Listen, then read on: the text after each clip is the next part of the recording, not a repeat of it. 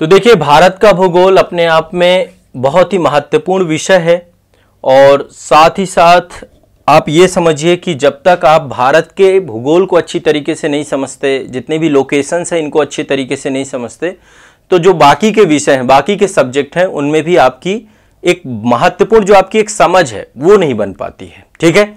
तो आज के सेशन में मैं आप सभी को भारत की भूगोल की विषय वस्तु में यहाँ पे पढ़ाऊँगा और मेरा उद्देश्य ये रहेगा कि जितना भी समय आप मेरे साथ लें, जो कुछ भी मैं पढ़ाऊं, मेरे साथ साथ ही आपको याद होता चला जाए।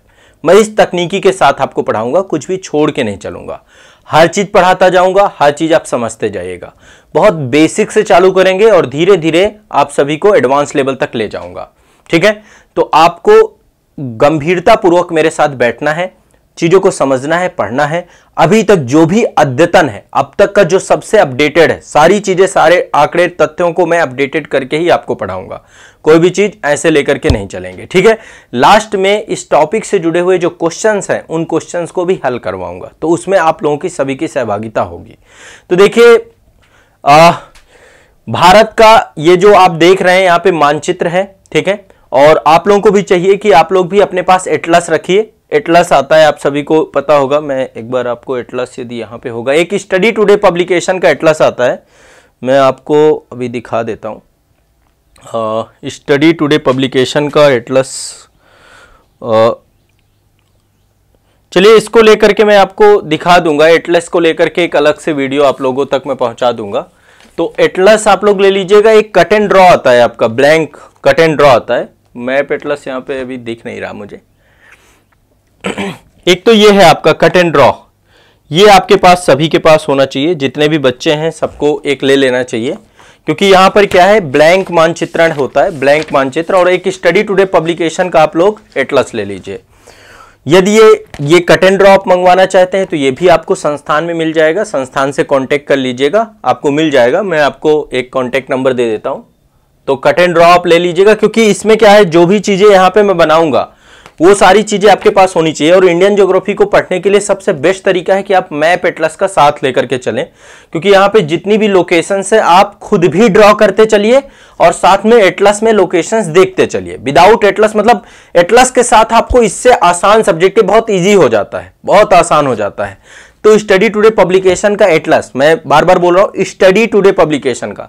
यदि आप, हो सकता है कि ऑक्सफोर्ड का एटलस भी रख रहे हो ओरिएंटेड ब्लैक स्वान का भी रख रहे हो, रख सकते हैं। वो एटलस भी बुरे नहीं है। बट स्टडी टुडे पब्लिकेशन के एटलस में काफ़ी सारी सामग्री, काफ़ी सारा कंटेंट आपका बेहतर मिलता है। तो मैं आपको रिकमेंड जो कर रहा हूँ स्टडी टुडे पब्लिकेशन का एटलस कर रहा हूँ और ये एटलस आपको संस्थान में मिल जाएँगे। इसके लिए मैं एक कॉन्टेक्ट नंबर आपको दिए दे रहा हूँ। यहाँ पे संपर्क करके आप इसे मंगवा सकते हैं। Eight nine two nine eight two one nine seven zero. ये आज़ाद पब्लिकेशन का नंबर है। आपको कोई भी बुक चाहिए, झारखंड राज्य से जुड़ी हुई, संघ लोक सेवा आयोग, आईएएस एग्ज़ाम से जुड़ी हुई, या कोई भी जितने भी पीसीएस हैं, चाहे बीपीएससी, यूपीपीएससी, एमपीपीएससी, सबकी, सारे लोक सेवा आयोग, आईएएस और पीसीएस एग्ज़ाम की पुस्तकें यहाँ पर आपको मिल जाती हैं। Eight nine two nine eight two one nine seven zero. ठीक है, इस नंबर पर आप कॉन्टेक्ट करके आप कोई भी एटलस या कट एंड ड्रॉ कहीं पर भी है, भारत के किसी भी क्षेत्र में है, आपको उपलब्धता सुनिश्चित करा दी जाएगी। तो ये कट एंड ड्रॉ ज़रूर रखिएगा, सभी बच्चे आपके आसपास कहीं मिल जाता है तो वहाँ से भी आप लोग ले सकते हैं। ठीक है? तो ये विदाउट इसके नहीं चलेगा, और मैं जल्द ही आपको जो आपका स्टडी टूडे पब्लिकेशन का एटलस है, उसका रिव्यू कर दूँगा, और उसके बारे में भी आपको बता दूँगा। ठीक है? बेस्ट एटलस है, आप लोगों के पास होगा भी तो उसी से पढ़िएगा। चलिए तो अब भारत के भूगोल का देखिए, ये राजनीतिक मानचित्रण है और ये आपका भौतिक मानचित्रण है। ये आपका राजनीतिक मानचित्रण है, ये आपका भौतिक मानचित्रण है। ठीक है? हमें जो पढ़ना है, हमें दोनों को ध्यान में रखते हुए चीज़ों को देखना है। हमें पहले एक तरीके से भारत की जितनी भी लोकेशंस हैं, सभी को समझना है, सारी चीज़ों को देखना है, सबको समझते हुए चले जाना है। यदि हम देखें विश्व के मानचित्र की बात करें तो विश्व के मानचित्र में आप सभी को पता है कि टोटल महाद्वीपों की बात करें तो सात महाद्वीप हैं आपके, ठीक है? सात महाद्वीप हैं, बाकी आपकी वाटर बॉडी है। यदि आप ग्लोब को देखेंगे तो ग्लोब में आप पाएँगे कि वाटर बॉडी आपकी चार बड़े महासागर हैं और सात महाद्वीप हैं। सात महाद्वीप कौन कौन से हैं? पहला तो एक एशिया महाद्वीप है, आप सभी को जानते हैं, भारत आपका एशिया में ही अवस्थित है। एशिया के बाद आपका एशिया से ही जुड़ा हुआ है, यूरोप महाद्वीप है आपका। इसके बाद उत्तरी अमेरिका महाद्वीप है, दक्षिणी अमेरिका महाद्वीप है, और इसके बाद आपका जो है अफ्रीका महाद्वीप है। ये टोटल पाँच हो गए। एशिया, यूरोप, उत्तरी अमेरिका, दक्षिणी अमेरिका और नीचे आपका अफ्रीका है। इधर ऑस्ट्रेलिया है। छठवां आपका ऑस्ट्रेलिया है और फिर आपका एक महाद्वीप है जो पूरी तरीके से वीरान है। वहाँ पे कोई नहीं रहता। दक्षिणी गोलार्ध में अवस्थित है, जिसका नाम है अंटार्कटिका। पूरी तरीके से वीरान महाद्वीप है। ठीक है? पूरी तरीके से वीरान महाद्वीप है, अंटार्कटिका महाद्वीप, ठीक है? तो भारत हमारा एशिया महाद्वीप में अवस्थित है। कहाँ लोकेटेड है? एशिया महाद्वीप में। पहली चीज़ तो आपको यह समझनी है, ठीक है? और एशिया महाद्वीप को, एशिया को भी कई भागों में विभाजित किया गया मैं एक बार मानचित्र पे ले चलता हूँ आपको, वर्ल्ड का मानचित्र, ये है ना? ये देखिए, वर्ल्ड का मानचित्र, मैं आपको एक बार वर्ल्ड के मानचित्र से यही चीज़ बता देता हूँ। ये वाला मानचित्र देख रहे हैं, ये पूरा का पूरा, ये पूरा का पूरा मानचित्र देख रहे हैं। यहाँ से देखिए, यहाँ से क्या है? यूराल पर्वत, यूराल नदी, का कैस्पियन सागर। ये अलग करता है एशिया को यूरोप से। यहीं पे कैस्पियन सागर है, यूराल पर्वत है, यूराल नदी है। पहले यूरोप और एशिया एक ही होते थे। तो ये एशिया को यूरोप से अलग करता है। रसिया आधा आपका एशिया में पड़ता है, आधा यूरोप में पड़ता है। ठीक है, इस तरीके से आप इसको देख सकते हैं। ठीक है तो ये आपका यहाँ से पृथक हो जाता है। और फिर बाकी का आपका ये कम चटका प्रायद्वीप है इधर आपका ये चाइना वाला हिस्सा है, इधर जापान है आपका ये वाला, है ना? बहुत सारे द्वीप भी हैं, है ना? सब एशिया का ही हिस्सा है ये, पूरा का पूरा ये आसियान कंट्रीज़ जितनी भी आपकी हैं, है ना? फिर इधर जो है आपका ऑस्ट्रेलिया पड़ जाता है, और ऑस्ट्रेलिया हमारा भारत है, ये मैं थोड़ा सा रफली मानचित्र बना रहा हूँ। इधर अरब देश हैं सारे के सारे, इधर भूमध्य सागर से जो पूरब का पूरा का पूरब क्षेत्र है, सब एशिया के अंतर्गत आता है। इधर ये आपका काला सागर है और इधर ये आपका पूरा का पूरा ये एशिया के अंतर्गत ये पूरा क्षेत्र आता है। ये फिर आपका जितना भी है, पॉलिनेशिया, माइक्रोनेशिया, मेलानेशिया, ये छोटे छोटे द्वीप है यहाँ पे और ऑस्ट्रेलिया, ये सब उसके अंतर्गत आते हैं। दूसरा आपका ये ये हो गया एशिया। एक बार थोड़ा सा मानचित्र से आपको चीज़ें ज़्यादा समझ में आ जाएँगी। एशिया, दूसरा है आपका यूरोप। दूसरा है आपका यूरोप। तीसरा है आपका उत्तरी अमेरिका। उत्तरी अमेरिका। ठीक है? चौथा है आपका दक्षिणी अमेरिका। दक्षिणी अमेरिका। ठीक है, फिर है आपका अफ्रीका। यह है आपका ऑस्ट्रेलिया।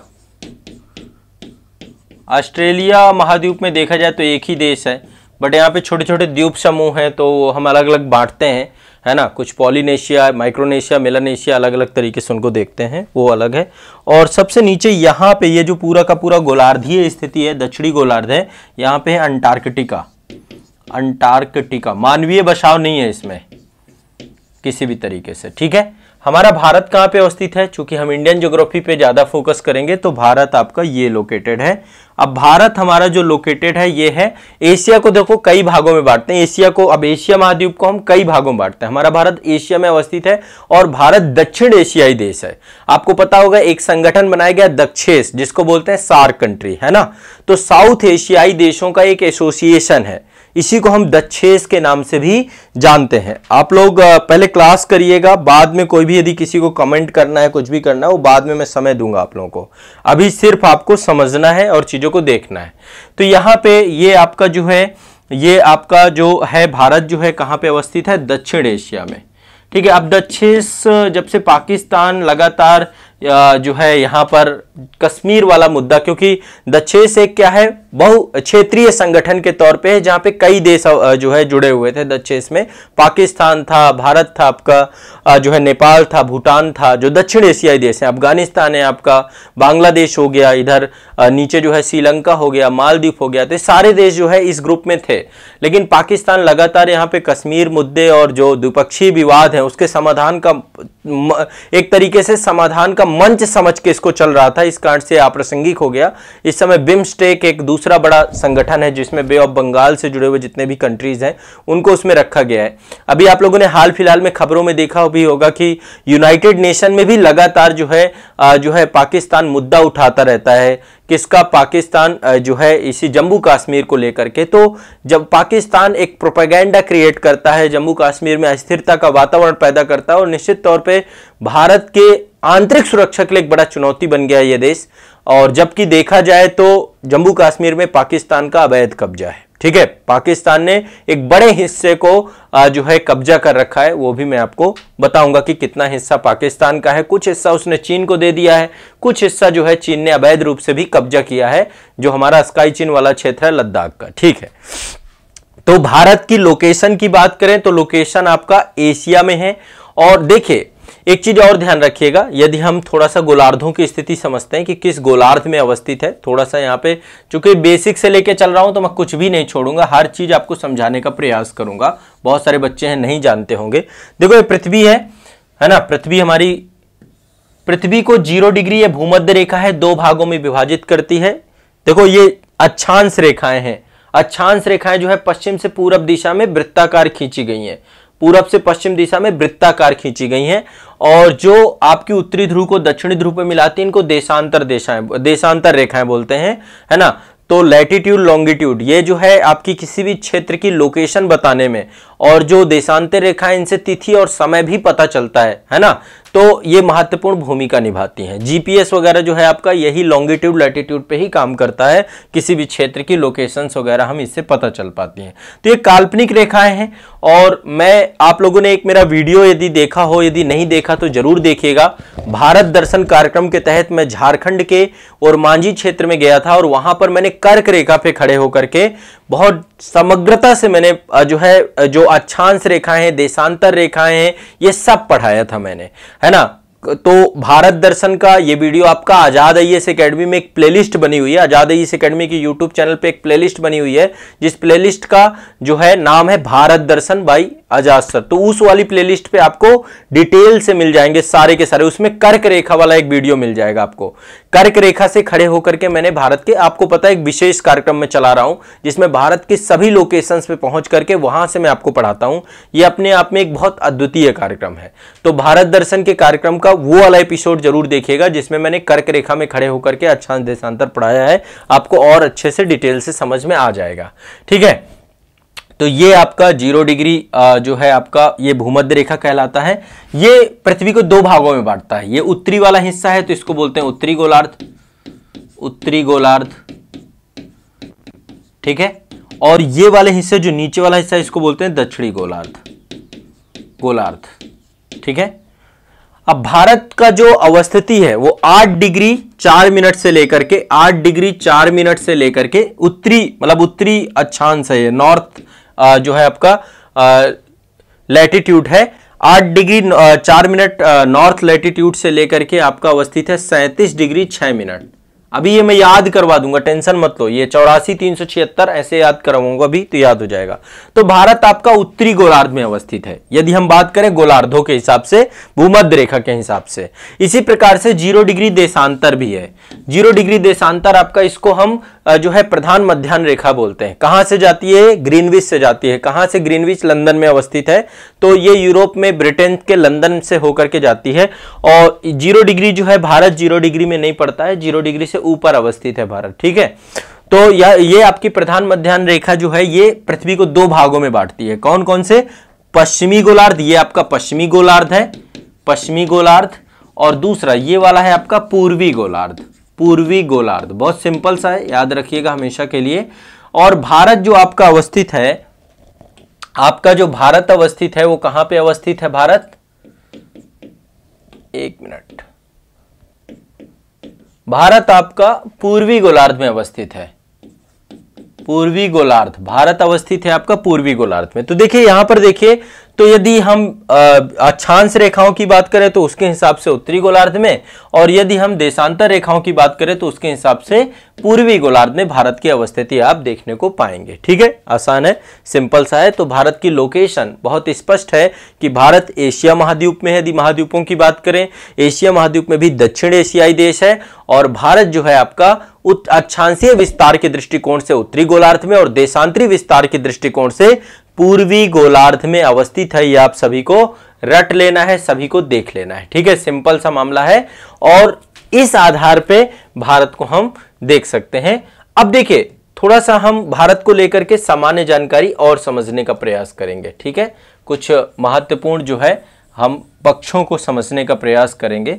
अपने भारत के दृष्टिकोण में कुछ तथ्य जो है, मैं शुरुआत में आपको आधारभूत क्लास है, चूँकि बेसिक क्लास है तो मैं आपको कुछ तथ्य बताऊँगा। और बाद में कुछ क्वेश्चंस भी आपको प्रैक्टिस कराऊँगा इसी से जुड़े हुए। सारे तथ्यों से क्वेश्चंस पूछे जा चुके हैं।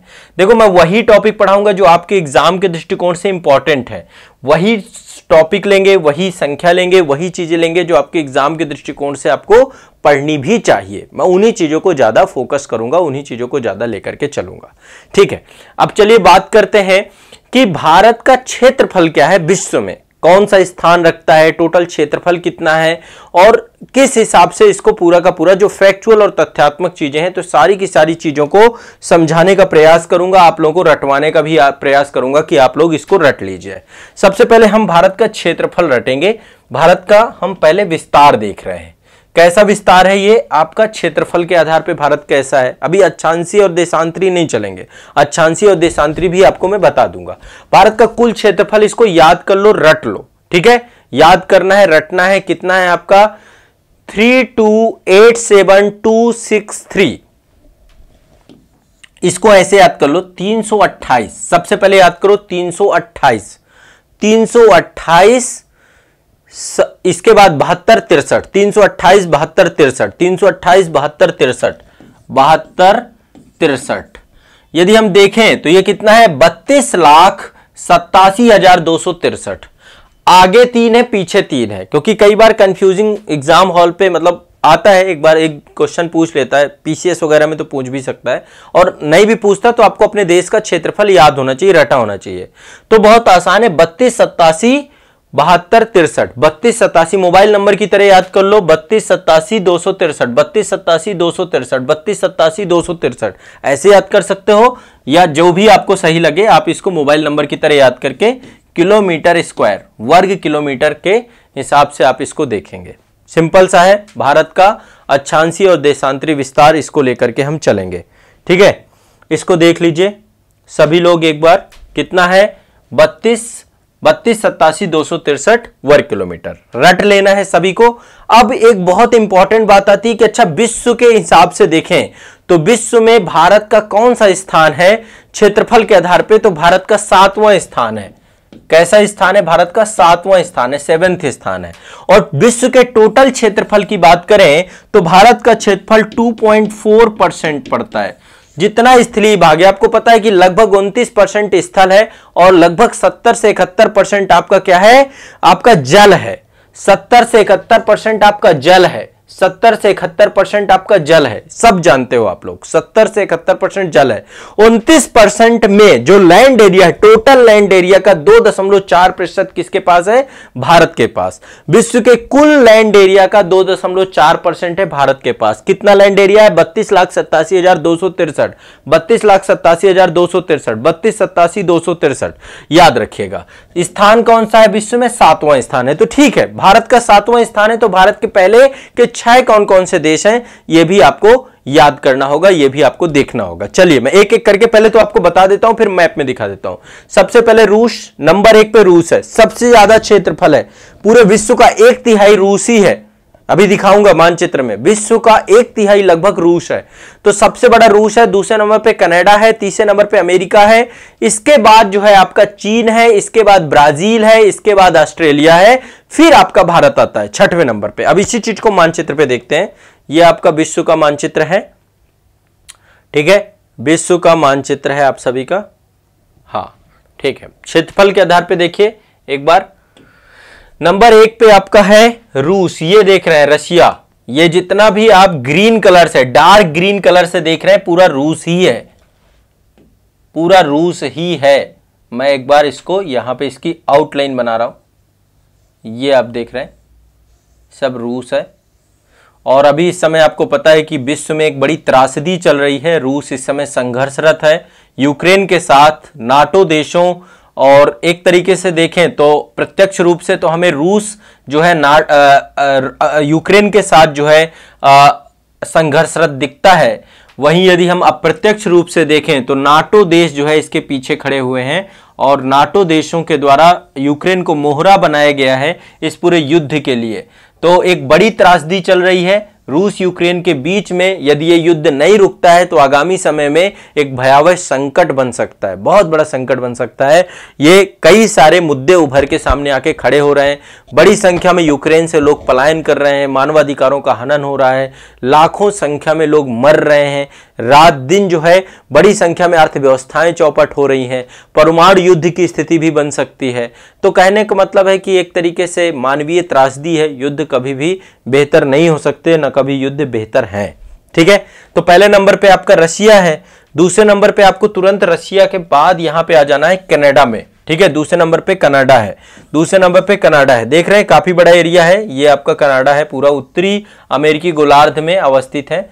है ना? तीन देश मुख्य रूप से उत्तरी अमेरिकी गोलार्ध में। सब देख रहे हैं, ऊपर तक के पूरा जितना भी है, आर्कटिक वृत्त के आसपास भी, ये पूरा का पूरा आपका क्या है? कनाडा है। ठीक है? तो दूसरे नंबर पे आपका कनाडा है। क्या है? कनाडा। याद कर लेना है सबको। तीसरे नंबर पे आपका उत, ये यूएसए है संयुक्त राज्य अमेरिका। तीसरे नंबर पे है यूएसए तीसरे नंबर पे आपका यूएसए है। ठीक है? पहले पे रसिया दूसरे पे कनाडा तीसरे पे यूएसए चौथे पे आपका चीन है। फोर्थ नंबर पे लैंड किसके पास है? चाइना के पास है। ठीक है? चौथे नंबर पे चाइना पाँचवें नंबर पे दक्षिणी अमेरिका चलिए ब्राज़ील है पाँचवें नंबर पे। पाँचवें नंबर पे ब्राज़ील है दक्षिणी अमेरिका महाद्वीप में। इसके बाद जो है छठवें नंबर पे ऑस्ट्रेलिया है आपका, सिक्स नंबर पे ऑस्ट्रेलिया, सातवें में हम हैं। ये पाँच छह ऊपर के टॉप जो आपके सिक्स हैं, ऊपर के, याद कर लीजिए, सातवें में भारत है। पहले रूस, कनाडा, अमेरिका, फिर चाइना, फिर इसके बाद ब्राज़ील, फिर ऑस्ट्रेलिया, फिर आपका भारत। रट लेना चाहिए आपको, बहुत कठिन नहीं है, सिंपल सा है ये, और इसको लेकर कंफ्यूज मत होइएगा, ठीक है? टोटल ये छह देश आपके बहुत इंपॉर्टेंट है। आठवें, देखो, सात आपका भारत है। आठवें नंबर पे अर्जेंटीना है। इसके बाद, भारत के बाद अगला देश कौन सा है? अर्जेंटीना। अर्जेंटीना के बाद यदि हम देखें, नवे नंबर पे है कजाकिस्तान। नवे नंबर पे कजाकिस्तान और दसवें नंबर पे फिर आपका है अल्जीरिया। तो यदि हम देखें तो सबसे बड़ा देश जो है आपका अफ्रीका का कौन सा है? वो है अल्जीरिया। अल्जीरिया अफ्रीका का सबसे बड़ा देश है। और देखें, वर्ल्ड में तो टेंथ नंबर पे अल्जीरिया आता है। दक्षिणी अमेरिका में दो बड़े देश ये आपके ब्राज़ील और अर्जेंटीना दिख रहे हैं। कनाडा और यूएसए दो आपके उत्तरी अमेरिका में दिख रहे हैं। और एशिया में देखे जाए तो आपका रशिया हो गया, चाइना हो गया, भारत हो गया और इधर आपका ऑस्ट्रेलिया हो गया। तो ये बड़ी लैंड बॉडी है इनके पास। अब इसकी बात करते हैं जनसंख्या की दृष्टि से। जनसंख्या की दृष्टि से भारत का दूसरा स्थान है, सबको पता है है ना? भारत का दूसरा स्थान है जनसंख्या की दृष्टि से। दूसरा स्थान, ठीक है? अब दूसरा स्थान पहले नंबर पे चाइना है, आप सबको पता है, ठीक है? फिर आपका भारत है, फिर आपका जाके अमेरिका है, फिर इंडोनेशिया है, ठीक है? अब यहाँ पे थोड़ा सा एक चीज़ और समझते हैं हम लोग। भारत के पास जितना भी लैंड है टोटल लैंड कितना मैंने आपको बताया? बत्तीस, सत्तासी, दो सौ तिरसठ। ये आपको रट लेना है सभी को, ठीक है? इस लैंड का काफ़ी हिस्सा पाकिस्तान के बाद अवैध कब्जे में है। आज ये भी डेटा आप लोग को याद कर लेना है। पाकिस्तान के कब्जे में कितना है भारत? अठहत्तर हज़ार एक सौ चौदह वर्ग किलोमीटर। पीओके कितना है? ये टोटल आपका अठहत्तर हज़ार। अभी जो वर्तमान में पाकिस्तान के पास है टोटल अठहत्तर हज़ार एक सौ चौदह वर्ग किलोमीटर। ठीक है? अठहत्तर हज़ार। ये सारी चीज़ें आपको ध्यान रखना। ये जो मैंने आपको क्षेत्रफल बताया ना, बत्तीस, सत्तासी, दो सौ तिरसठ, ये जो क्षेत्रफल हमने भारत का बताया, इसमें सब सम्मिलित है आपका। ठीक है पीओके में है आपका, अठहत्तर हज़ार एक सौ चौदह वर्ग किलोमीटर आपका पीओके का क्षेत्र है, पाकिस्तान, अधिकृत कश्मीर। अठहत्तर हज़ार एक सौ चौदह वर्ग किलोमीटर आपका पीओके है। कितना है? अठहत्तर हज़ार एक सौ चौदह। इसके बाद देखिए, पाकिस्तान ने काफ़ी बड़ा हिस्सा दे रखा है किसको? चीन को दे दिया है। कितना दे दिया है? याद रखिएगा, चीन के पास ये वाला क्षेत्र है, आपका ये जो अस्काई चीन का क्षेत्र है ना, ये लद्दाख में जो, लद्दाख का ही एक हिस्सा है, जब उन्नीस में युद्ध हुआ। उस युद्ध में, नहीं नहीं, माफ़ कीजिएगा, एक तो अस्काई चीन का क्षेत्र है, कुछ पाकिस्तान ने दे रखा है। ये गिलगिट बालिस्तान का क्षेत्र है, जो सक्स काम वैली है, जहाँ से काराकोरम पास से जो है पाकिस्तान और चाइना का जो है आपका इकोनॉमिक कॉरिडोर बनाया गया है सीपीईसी e बनाया गया है, जो चाइना पाकिस्तान इकोनॉमिक कॉरिडोर है। तो लगभग पाँच हज़ार एक सौ, पाँच हज़ार एक सौ अस्सी वर्ग किलोमीटर का क्षेत्र ये पाकिस्तान ने चीन को लीज में दे रखा है। ठीक है? 5180 वर्ग किलोमीटर का क्षेत्र पाकिस्तान ने चाइना को लीज में दे रखा है। और साथ ही यदि हम देखें तो पाक, चाइना ने भी अधिकृत कर रखा है भारत का एक बड़ा हिस्सा, जिसका नाम है अवैध कब्जा है। उन्नीस सौ बासठ के युद्ध में एक कब्जा हुआ। ये आपका हुआ है टोटल सैतीस हज़ार पाँच सौ पचपन। ये कुछ डेटा है, रफली आपको अपने देश के बारे में पता होना चाहिए। ये सब सम्मिलित है इसमें। बत्तीस, सत्तासी, दो किलोमीटर में सब सम्मिलित है। तो ये तीन आपको डेटा याद रखना है। पाकिस्तान के पास अठहत्तर वर्ग किलोमीटर क्षेत्र है, जो कि आपका पीओके वाला क्षेत्र है। इसके बाद चीन ने जो है, पाकिस्तान ने पाँच हज़ार एक सौ अस्सी किलोमीटर चीन को दे दिया है और चीन के द्वारा जो है, सैंतीस किलोमीटर क्या किया गया? अवैध कब्जे के तौर पर रखा गया है। ठीक है? यह भी आपको ध्यान रखना है। सब लोग बहुत बेसिक चीज़ें हैं, इनको याद रखिए। इन्हीं से सबसे क्वेश्चन कभी भी बन सकता है और आप कभी भी इतना डेटा तो आपको रखना चाहिए। ठीक? इतना बेसिक डेटा आपके पास होना चाहिए, आपको पता होना चाहिए, कोई दिक्कत वाली बात नहीं है। ठीक है? चलिए, अब आगे बात करते हैं। भारत का उत्तर से दक्षिण विस्तार और पूरब से पश्चिम विस्तार। थोड़ा सा हम अक्षांश और देशांतर भी जो है वो वो तो मान लीजिए मैं आपको डिस्कस करूँगा सारी चीज़ें। वो याद कराऊँगा, लेकिन यहाँ पे चूँकि आपने क्षेत्रफल देख लिया, जनसंख्या के आधार पे अभी भारत का भी देखो 2021 के जनसंख्या के आंकड़े आने दीजिए। थोड़ा सा इस बार आंकड़ों में डिले है कोविड के कारण से। तो जैसे ही आंकड़े आएँगे जैसे वैसे ही आपको जो है, मैं पढ़ाऊँगा भी और उससे बहुत सारी जनसंख्या बदलाव होगा। अभी 2011 की ही जनगणना के अंतिम आंकड़े हमारे पास हैं। देखिए, ये वाला आप देख रहे हैं, ये भारत का क्षेत्रफल है। यदि भारत को हम उत्तर से दक्षिण विस्तार और पूरब से पश्चिम विस्तार देखें, ये दो चीज़ें और याद कर लीजिएगा। पहला है आपका उत्तर से दक्षिण विस्तार, उत्तर से लेकर के भारत का दक्षिण विस्तार। उत्तर से दक्षिण विस्तार जो है आपका थोड़ा सा ज़्यादा है। कितना है? 3214 किलोमीटर। बत्तीस चौदह, याद रखिएगा, ये आपका है। बत्तीस चौदह, उत्तर से दक्षिण विस्तार भारत का कितना है? बत्तीस चौदह किलोमीटर। कितना है? बत्तीस चौदह। यदि हम पूर्व से पश्चिम की बात करें कि भारत का विस्तार जो है पूर्व से पश्चिम कितना है? ठीक है? भारत का विस्तार पूर्व से पश्चिम कितना है? ठीक है, ये आपका है पूर्व से पश्चिम। यानी कि ये आपका वेस्ट है, ये आपका ईस्ट है। ये आपका नॉर्थ है ये आपका साउथ है। तो पूर्व से या पश्चिम या पश्चिम से पूर्व कहें तो बहुत आसान है, याद कर लीजिए, उनतीस किलोमीटर 2933 याद कर लेना सबको, ये रट लेना है आपको। अब मानचित्रण नहीं भूलेगा आपको, रट जाएगा, आपके दिमाग में छप जाएगा। ठीक है, कितना है?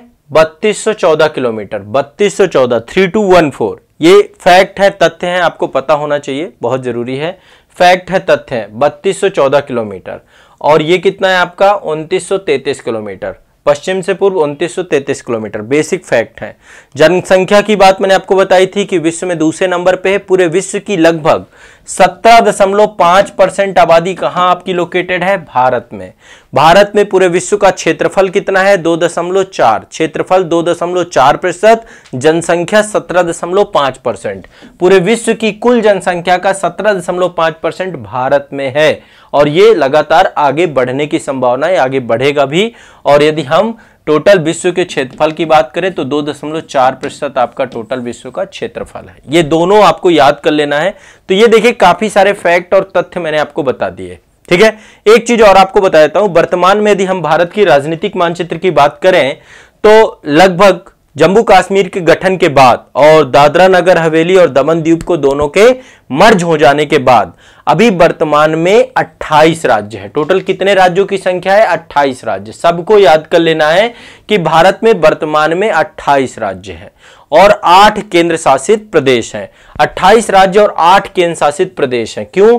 जम्मू कश्मीर राज्य को आप सभी को एक डेट याद होगी, पाँच अगस्त पाँच अगस्त 2019 को एक बिल लाया गया था, एक विधेयक लाया गया था ठीक है, सदन में। और इसके बाद 31 अक्टूबर 2019 से वो विधेयक लागू हो गया था। संसद के दोनों सदनों से पारित होने के बाद और प्रेसिडेंट ऑफ़ इंडिया के साइन होने के बाद उसको लागू कर दिया गया। सरदार वल्लभ भाई पटेल की जयंती है 31 अक्टूबर 2019 में मतलब देश को, उसको एक तरीके से 31 अक्टूबर को उस दिन के लिए मतलब ये जम्मू कश्मीर राज्य को पूरी तरीके से, जो धारा 370 के तहत विशेष राज्य का दर्जा था, उसे समाप्त कर दिया गया उसका स्टेटस और पूर्ण राज्य की जगह दो केंद्र शासित प्रदेश बना दिए गए। पहला केंद्र शासित प्रदेश आपका जम्मू कश्मीर था, जहाँ पे एक विधानसभा बना दी गई। अभी परसीमन के बाद वहाँ चुनाव होने वाले हैं और दूसरा आपका लद्दाख।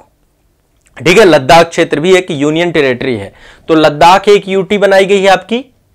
एक यूटी आपका लद्दाख है यूनियन टेरिटरी आपकी लद्दाख है यूटी और दूसरा आपका जम्मू कश्मीर, ये बनाई गई। ठीक है, और इससे पहले ये वाली यूटी जो थी, इनको मर्ज कर दिया गया। गुजरात के पास अवस्थित है आपका दादरा नगर हवेली। ठीक है, इसकी राजधानी सिलवासा होती थी। और यहाँ पे दमन है दमन द्वीप। ये फैले हुए हैं द्वीप आपके भी गुजरात तट के पास है काठियावाड़ तट जो आपका है या फिर कहें खंबात की खाड़ी के पास अवस्थित है ये वाली लोकेशन आप देख रहे होंगे। तो इनको आपस में मिला करके एक केंद्र शासित प्रदेश बना दिया गया। ठीक है सिलवासा और द्वीप दोनों को मिला दिया गया। तो अब इसको दादरा नग, इसको दमन एंड द्वीप एंड दादरा नगर हवेली बोलते हैं और इनकी राजधानी दमन ही है।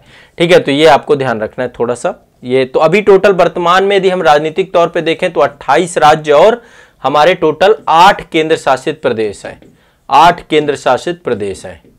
ठीक है, ये ध्यान रखना है थोड़ा सा ठीक है, राजनीतिक मानचित्र को थोड़ा सा गति से देख लेते हैं। एक बार मैं आपको यहाँ पे भारत का पॉलिटिकल मानचित्र भी दिखा देता हूँ, ताकि आपको बहुत सारे लोगों को पता ही नहीं है नॉर्थ ईस्ट में कौन से स्टेट आते हैं, दक्षिण भारत क्या है, उत्तर भारत क्या है मस्जिद है ना? तो ये थोड़ा सा आपको पता होना चाहिए। रफली आपको याद होना चाहिए। ठीक है, ये देखिए, भारत का मानचित्र है, मैं थोड़ा सा नॉर्थ से पूरा नीचे जाते हुए फिर ऊपर उठूँगा, ठीक है? सबसे पहले आपका लद्दाख है, सबको पता है ये वाला पूरा हिस्सा, ये पूरा लद्दाख है आपका, ठीक है? इसके भी मानचित्र को लेकर कंफ्यूजन है, लेकिन जो मानचित्र मैं बता रहा हूँ, यही मानचित्र आपका सरोमान मत है।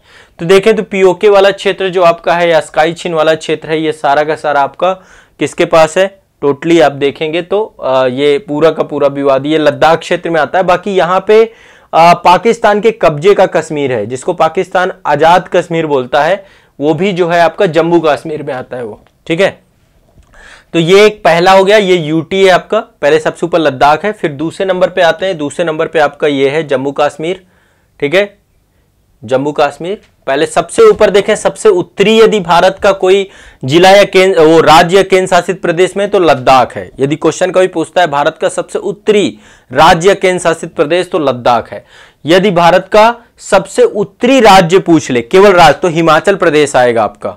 भारत का सबसे उत्तरी राज्य हिमाचल प्रदेश है, क्योंकि लद्दाख राज्य नहीं है केंद्र शासित प्रदेश है। जम्मू कश्मीर राज्य नहीं है केंद्र शासित प्रदेश है। तो कभी क्वेश्चन मान लो बन जाए कि भारत का सबसे उत्तरी राज्य कौन सा है तो फिर हिमाचल प्रदेश आएगा। ठीक है, हिमाचल प्रदेश, ये तीसरे नंबर पे आपका हिमाचल प्रदेश है। फिर आपका पंजाब है, ये आपका पंजाब हो गया। ठीक है, सबकी राजधानी लद्दाख की राजधानी लेह है आपकी। जम्मू कश्मीर की दो राजधानियाँ हैं, जम्मू और श्रीनगर। सबको पता है, बहुत बेसिक है। हिमाचल प्रदेश की भी दो राजधानी है, शिमला और धर्मशाला। शिमला और धर्मशाला दो राजधानी है, ठीक है, ध्यान रखिएगा। हिमाचल प्रदेश की भी दो राजधानी है, शिमला और धर्मशाला। लद्दाख की लेह जम्मू कश्मीर की, श्रीनगर और जम्मू। इसके बाद पंजाब की और हरियाणा की, दोनों की साझा राजधानी है, जिनको हम चंडीगढ़ बोलते हैं, ठीक है। दोनों की और चंडीगढ़ भी एक केंद्र शासित प्रदेश है। तो पंजाब है, पंजाब के बाद ये हरियाणा है आपका। पंजाब के बाद हरियाणा है, दोनों की साझा राजधानी है, जिसका नाम है चंडीनगर। पहले एक ही थे ये, बाद में उन्नीस में विभाजन हो गया इनका। ठीक है, इसके बाद राजस्थान राज्य, भारत का सबसे बड़ा राज्य आपका राजस्थान है। भारत का सबसे बड़ा राज्य, इसकी राजधानी सबको पता है, जयपुर है। ठीक है, राजस्थान की राजधानी जयपुर है, सात संभाग है, तैतीस ज़िले हैं। ठीक है, राजस्थान में। इसके बाद है आपका गुजरात। गुजरात की राजधानी सबको पता है, गांधीनगर है। ठीक है, ये तटीय है। और सबसे ज़्यादा, सबसे लंबी तट रेखा गुजरात की है, बड़ी कटी फटी तट रेखा है। तो इसके बाद राजस्थान के बाद गुजरात आपका आता है। गुजरात के बाद महाराष्ट्र, यहीं पे फिर आपका ये है आपके दमन एंड द्वीप और दादरा नगर हवेली, ये आपको ध्यान रखिएगा। इधर चंडीगढ़ की राजधानी चंडीगढ़ ही है। चंडीगढ़ एक केंद्र शासित प्रदेश भी है यूटी भी है, क्योंकि दो राज्यों की राजधानी है तो इस कारण से उसको यूटी कन्वर्ट कर दिया गया है। पंजाब की राजधानी चंडीगढ़, हरियाणा की चंडीगढ़ और चंडीगढ़ की चंडीगढ़, ध्यान रखिएगा। राजस्थान, जयपुर, गुजरात, गांधीनगर, इसके बाद यहाँ पे दमन, द्वीप, दादरा नगर हवेली, इनकी राजधानी आपकी दमन है। और इसके बाद ये आपका ये वाला क्षेत्र जो है आपका ये महाराष्ट्र का क्षेत्र है। ठीक है? इसकी राजधानी आप सबको पता है कि महाराष्ट्र की राजधानी आपकी मुंबई है। ठीक है? महाराष्ट्र की भी दो राजधानी है, नागपुर भी इसकी एक दूसरी राजधानी के तौर पे देखा जा सकता है। तो महाराष्ट्र, मुंबई और नागपुर। ठीक है? नागपुर भी राजधानी के रूप में प्रस्तावित है। इसके बाद आपका यहाँ पे एक छोटा सा भारत का देखा जाए तो छोटा सा राज्य है जिसका नाम है गोवा। गोवा की राजधानी पणजी है। गोवा की राजधानी पणजी है। कोंकण तट है यहाँ पे। इसके बाद है कर्नाटक। कर्नाटक की राजधानी बंगलुरु है। कर्नाटक की राजधानी बंगलुरु है। इसके बाद यहीं पर, देखिए, पांडिचेरी जो है ना, एक फ्रांसीसी कॉलोनी होती थी। पहले फ्रांस का शासन था यहाँ पे, फ्रांसीसी कॉलोनी थी। इसके बाद 1954 पे फ्रांस के द्वारा एक समझौते के तहत इसको जो है फ्रांस ने हस्तांतरित कर दिया। तो पुदुचेरी जो आपका है ना, वो लगभग तीन राज्यों में फैला हुआ है। तीन राज्य और चार ज़िले हैं इसके। तीन राज्य और चार ज़िले हैं। पहला तो है ये पुदुचेरी, इसकी राजधानी पुदुचेरी की पुदुचेरी है। इसका एक राज्य आपका ये केरल के पास है, जिसका नाम है माहे। एक जिला इसका केरल के पास है। पुदुचेरी केंद्र शासित प्रदेश है। इसमें विधानसभा भी है, तीस सदस्यीय विधानसभा है। और लेफ्टिनेंट गवर्नर यहाँ पे बैठते हैं, दिल्ली के तर्ज में इसको बनाया गया है। तो पुदुचेरी तीन राज्यों में फैला हुआ है, तीन राज्यों में, और चार ज़िले हैं इसके। पहला है माहे, केरल में है आपका। दूसरा आपका है यनम। यनम आपका आंध्र प्रदेश में पड़ता है। यनम आपका आंध्र प्रदेश में पड़ता है। इसके बाद दो तमिलनाडु में जगह एक पुदुचेरी है और तीसरा कराईकिल है। तो आप देखें, भारत का यदि हम देखें तो एक तरीके से राजनीतिक दृष्टिकोण से सबसे ज़्यादा मतलब भौगोलिक रूप से सबसे ज़्यादा छितराया हुआ क्षेत्र। सब जगह छितराया हुआ है, चार जगहों में। एक आपका माहे, दूसरा पुदुचेरी, फिर यनम, फिर कराईकिल, तीन राज्यों में। केरल, तमिलनाडु और आंध्र प्रदेश। इनमें जो है इसकी बस्तियाँ हैं, फ्रांसीसी बस्तियाँ हैं तो वो आपकी छितराई हुई हैं। तो याद रखना है, केरल की राजधानी सबको पता है त्रिवंतपुरम है। ठीक है सब जानते हैं। इसके बाद तमिलनाडु की राजधानी सबको पता है चेन्नई है। तमिलनाडु की राजधानी चेन्नई है दक्षिणी राज्य है। ये आ, केरल में मालाबार तट है और इधर कोरोमंडल तट है। बाद में मैं आपको डिटेल से फ़िज़िकल ज्योग्राफी में पढ़ाऊँगा। आंध्र प्रदेश आंध्र प्रदेश देखिए अभी नया बना है आपका। इसकी राजधानी अमरावती है। अमरावती विजयवाड़ा उसको राजधानी के तौर पे डेवलप किया गया है। तो आंध्र प्रदेश की राजधानी अमरावती। अभी आंध्र प्रदेश में भारत का 25वां हाई कोर्ट बनाया गया है, अमरावती में ही अवस्थित है वो।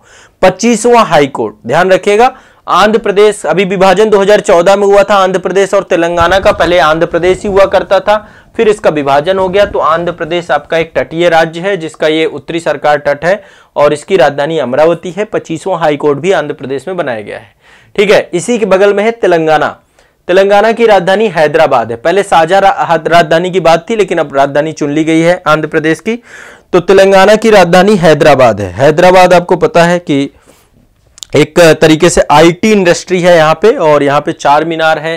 पहले नवाबशाही होती थी, हैदराबाद का नवाब जो है भारत में मिलना नहीं चाहता था। और आप सबको पता है कि उसके परिणाम स्वरूप भारत के सरकार के द्वारा उस समय सरदार वल्लभ भाई पटेल थे। उनकी दूरदृष्टि के कारण ही हम इस पूरे क्षेत्र को भारत में मिला पाए और निश्चित तौर पे जो है ये पूरा का पूरा क्षेत्र भारत का हिस्सा बन पाया। ठीक है? वो आपको पता ऑपरेशन पोलो चलाया गया था जो है हैदराबाद को मिलाने के लिए।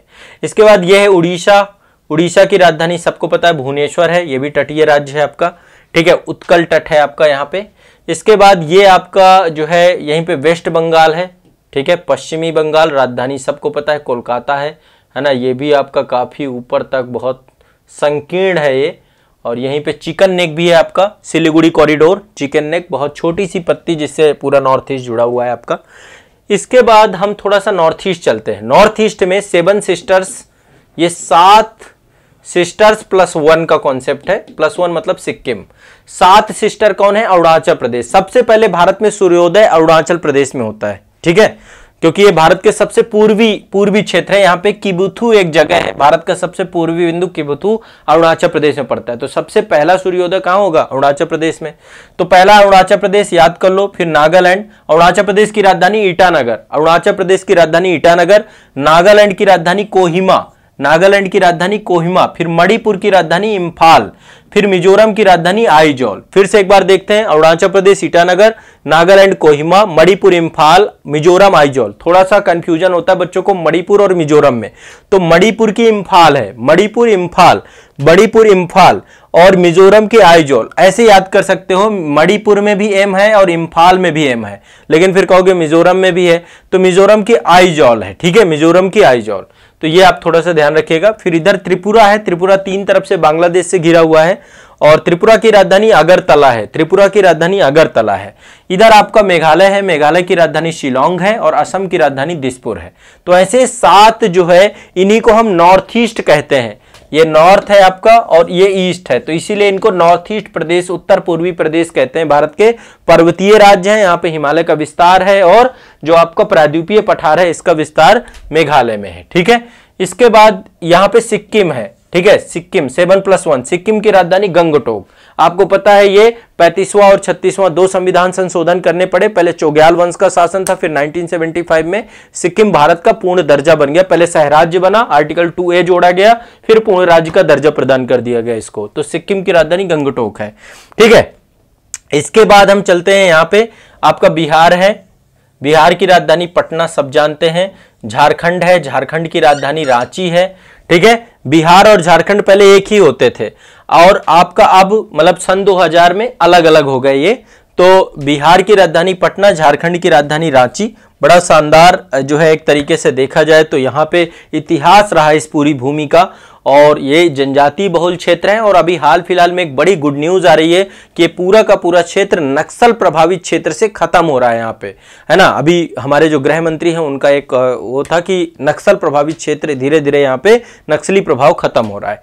ठीक है, इसके बाद जो है यहाँ पे छत्तीसगढ़ है आपका। छत्तीसगढ़ भी पहले मध्य प्रदेश का हिस्सा होता था और छत्तीसगढ़ की राजधानी रायपुर है छत्तीसगढ़ की राजधानी रायपुर है सब जानते हैं इसके बाद मध्य प्रदेश के केंद्र में है आपका इसकी राजधानी भोपाल है मध्य प्रदेश की राजधानी भोपाल है उत्तर प्रदेश की राजधानी लखनऊ है ठीक है उत्तर प्रदेश की राजधानी लखनऊ है उत्तर प्रदेश और हरियाणा दोनों के द्वारा बीच में देश की राजधानी है यहाँ पे देश की राजधानी यहाँ पे लोकेटेड है जिसका नाम है दिल्ली देश की राजधानी है यहाँ पे दिल्ली ठीक है सब जानते हैं देश की राजधानी है यहाँ पे दिल्ली दिल्ली की राजधानी है नई दिल्ली दिल्ली की राजधानी है नई दिल्ली। भारत की राजधानी है नई दिल्ली। भारत की राजधानी है तो भारत की राजधानी यहीं पे, और ये केंद्र शासित प्रदेश है, यहाँ पे सत्तर सदस्यीय विधानसभा है। उनहत्तरवां संविधान संशोधन के तहत दिल्ली को राष्ट्रीय राजधानी क्षेत्र घोषित कर दिया गया, और यहाँ पे सत्तर सदस्यीय विधानसभा और सात सदस्यीय मंत्रिमंडल का गठन किया गया है। तो यहाँ पे मुख्यमंत्री भी होते हैं, लेकिन ओवरऑल देखा जाए तो पावर जो है वो एलजी साहब के पास होती है, जो लेफ्टिनेंट गवर्नर होते हैं, जो प्रेसिडेंट द्वारा चयन किए जाते हैं। ये भी ध्यान रखिएगा। फिर इसके जस्ट ऊपर, पहले उत्तर प्रदेश का हिस्सा होता था उत्तराखंड, ये भी सन 2000 में अलग हो गया। सन 2000 में तीन स्टेट अलग हुए। बिहार से झारखंड, उत्तर प्रदेश से उत्तराखंड और मध्य प्रदेश से छत्तीसगढ़। ठीक है? तो इसकी राजधानी है आपका देहरादून। ठीक है? और ये जो है आपका टोटल भारत के सभी 28 राज्य 28 स्टेट और आपकी यूटीज हो गई, आठ यूटीज बहुत सिंपल सा था, इसमें बहुत ज़्यादा कुछ सोचना नहीं था। ठीक है? ये निश्चित तौर पे आप सभी लोग चलिए। अब आगे चलते हैं। हाँ चौतीसवां और पैंतीसवां से ये आपका सिक्किम बना है। पैंतीसवां से पूर्ण राज्य का दर्जा प्राप्त हुआ है। चलिए, अब आगे क्वेश्चन मैं कुछ यहाँ पे लेकर आऊँगा। आप लोग कमेंट करिएगा। ठीक है, आप लोग के कमेंट बहुत ज़रूरी होंगे। यहाँ पे कुछ क्वेश्चंस हैं प्रीवियस ईयर जो पूछे जा चुके हैं। और इन, इनसे आप ज़रूर जुड़िएगा। ये पूरा आपको बहुत अच्छे से समझ में आ जाएगा।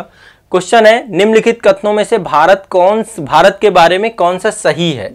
ठीक है, ये जब भी कभी क्वेश्चन दीजिए तो पहले ये ज़रूर देख लीजिए कि सही और गलत में से क्या पूछ रहा है। इससे क्या होगा, आपको दिक्कत नहीं होगी। कह रहा है, भारत विश्व का पांचवा सबसे बड़ा देश है। गलत है, भारत विश्व का सातवां सबसे बड़ा देश है, ठीक है? सेवेंथ है। कह रहा है, यह स्थल मंडी के कुल क्षेत्रफल का दो दशमलव चार प्रतिशत भाग अधिकृत किए हुए यह कथन सही है। फिर इसके कह रहा है, समूचा भारत उष्ण कटिबंधीय क्षेत्र में अवस्थित है। देखो, पूरा भारत उष्ण कटिबंध में नहीं है। उष्ण कटिबंध देखें, ज़ीरो डिग्री से लेकर तीस डिग्री तक। आपका उष्ण कटिबंध है है ना? या साढ़े तेईस डिग्री कर्क रेखा तक देखें तो उष्ण कटिबंध है। लेकिन तीस डिग्री से ऊपर का क्षेत्र आपका शीतोष्ण कटिबंध है। तो भारत उष्ण कटिबंध में भी है और शीतोष्ण कटिबंध में भी है। तो इसका ये जो है जो है, देखा जाए तो गलत हो जाएगा ये वाला भी। फिर कह रहा है, बयासी डिग्री तीस मिनट पूर्वी देशांतर का उपयोग भारतीय मानक समय को निर्धारित करने के लिए किया जाता है, ये भी कथन सही है। मैं आगे आपको मानक समय के बारे में बताऊँगा, कैसे मानक समय रेखा निर्धारित की जाती है किसी देश में, कैसे समय निकाला जाता है, कैसे अंतर्राष्ट्रीय तिथि रेखा का निर्धारण किया जाता है, कैसे डेट आपकी निकाली जाती है। तो ये हम लोग समझेंगे आगे आने वाली क्लास में, लेकिन ये कथन सही है। ये इलाहाबाद के नैनी से होकर के जाती है। भारत की ये पूर्वी देशांतर है, साढ़े बयासी डिग्री, इसको जो है भारत की मानक समय के रूप में बनाया गया है। तो इस तरीके से देखिए, कथन कौन से सही हो जाएँगे आपके? बहुत सिंपल सा है, इस तरीके से दो और चार सही है। दो नंबर सही है, चार नंबर सही है। आराम से पढ़िए और इसका उत्तर आप निकाल सकते हैं, दे सकते हैं। अगर अगर आज क्षेत्रफल की दृष्टि से भारत का विश्व में कौन सा स्थान है, सिंपल सा अभी हमने देखा, रटाया मैंने आपको, ठीक है? इसके बाद कह रहा भारत का विश्व में आकार है सातवां। देखो क्वेश्चन पूछे गए ना कई बार, ठीक है? कई जगहों पे, कई स्टेज झारखंड में ही देखे पूछा गया था क्वेश्चन झारखंड पीसीएस प्री 2016 का क्वेश्चन है ये, ठीक है? तो ओवरऑल ये बहुत पूछता है, कई बार आपको पता होना चाहिए ओवरऑल बहुत बड़ी बात नहीं है। भारत का क्षेत्रफल, संसार के क्षेत्रफल से 2.4 परसेंट है, परंतु इसकी जनसंख्या, आप सबको पता है कि भारत की जनसंख्या जो है, सत्रह सत्रह दशमलव पाँच परसेंट है। तो ये लगभग है मतलब यहाँ पे सत्रह परसेंट जो लिखा हुआ है, ये आपको याद रखना है, लगभग इसका सत्रह दशमलव पाँच परसेंट के आसपास ये है। तो इसका बी सही हो जाएगा, सिंपल सा है, ठीक है? अगला कह रहा है, भारत में कितने गाँव हैं? देखो, भारत में गाँवों की संख्या की बात करें तो जो 2011 की जनगणना थी दो हज़ार ग्यारह की जनगणना के हिसाब से भारत में छह लाख छह लाख चालीस हज़ार चालीस हज़ार नौ सौ बत्तीस गाँव हैं भारत में। ये 2011 की जनगणना के हिसाब से यदि आप देखें तो पाँच लाख गलत है, आठ लाख गलत है। इनमें से, इसमें कह रहा है छह लाख तीस हज़ार। तीस हज़ार भी गलत है। इसका सही आंसर डी होगा, क्योंकि इसमें जो सही काउंटिंग है वो है छह लाख चालीस हज़ार नौ सौ बत्तीस। ये ध्यान रखिएगा। अगला क्वेश्चन कहता है, निम्नलिखित में से कौन सा जोड़ा सही नहीं है? कौन सा जोड़ा सही नहीं है? कह रहा, भारत का कुल क्षेत्रफल मैंने आपको याद कराया अभी आपको, ठीक है? आप सभी को याद कराया।